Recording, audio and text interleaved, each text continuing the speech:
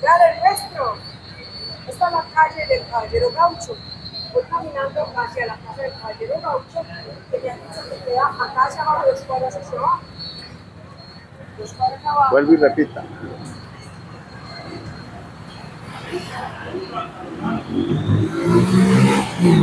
Bueno, destruyendo, destruyendo. Esta es la calle del Caballero Gaucho. Voy hacia la casa del Caballero Gaucho porque me han dicho que queda hacia abajo.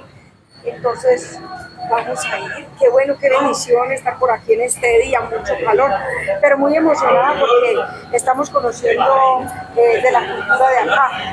Eh, calle del Caballero Gaucho, ¿por qué? Porque el Caballero Gaucho era de acá. Ese gran maestro, miremos. Ah, mira qué belleza. Donde me encontramos a él. Qué lindo, vea, ¿sabe qué me hubiera gustado?